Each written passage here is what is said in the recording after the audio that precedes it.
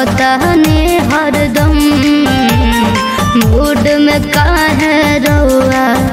रहतानी हरदम ए